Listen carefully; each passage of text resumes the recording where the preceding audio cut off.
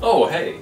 Uh, my name is Evan Abrams, and uh, today I'm going to be uh, showing you, I guess, uh, a preview for what uh, we're going to make in a tutorial. Um, this is a request from uh, Blue House Burning. He made a request, and he's gone through the tutorials. He's been very supportive of what I've been doing here, so I figured, well, he asked, so he's getting a tutorial just for him. So, Blue House Burning, this is how to make a 3D interface uh, come out of your desk. Um, I know you asked for one for the future of TV, link over there, um, and I'm sure that would have been great, but I figured I would do, uh, do a new one, do it fresh, do it right, and uh, show you what that's like. So basically what we're going to be doing is we're going to be uh, turning on the, the interface, uh, it'll load,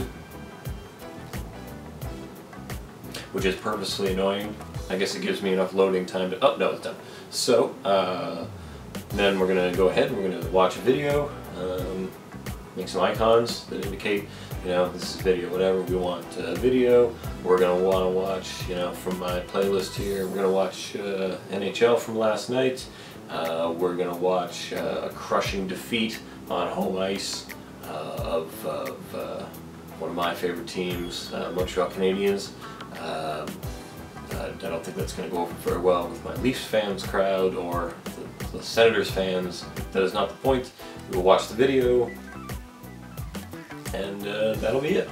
Um, and uh, you know, uh, if you have any uh, questions about it, you just ask me in the comments. Uh, I love just boosting my ego and helping people out and that kind of thing. Anyway, um, I'm Evan Abrams, and if you want to see the tutorial on how to make this, click there, and we'll uh, do it up. And uh, Blue House Burning, this one's for you. Check out his channel, link somewhere. But yeah, tutorial's there, that's there-ish, I don't freaking know. Anyway, and uh, yeah, hope you're having a good day, have fun doing it, hope you enjoyed this, and uh, yeah, thanks a lot.